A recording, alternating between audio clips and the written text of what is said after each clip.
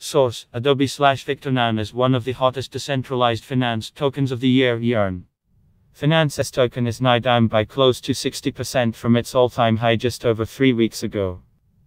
At the time of writing, 1150 UTS, ETH was down by 6% over the past 24 hours, and down by just over 31% over the past 7 days, trading at us. The losses seen over the past week made the token the second biggest loser among the top 100 cryptoassets by market capitalization over the period, following closely behind Uniswap's token, which saw marginally bigger losses. The latest losses also came as ETH completes what could be considered a classic bearish head and shoulder pattern in the chart source DAWUWU. Trading Thomas Choi of crypto investment fund Spartan Capital argued recently that what we are seeing is a cool-off in yield farming, which has strongly affected the price of ETH. However, Choi claimed that this is a temporary effect and that Yearn finance is on the right path going forward.